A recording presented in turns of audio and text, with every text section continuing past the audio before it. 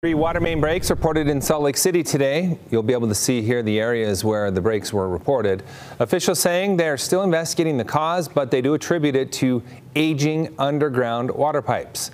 The water main break near 2622 South and 700 East due to a cast iron pipe that was put in place back in 1961.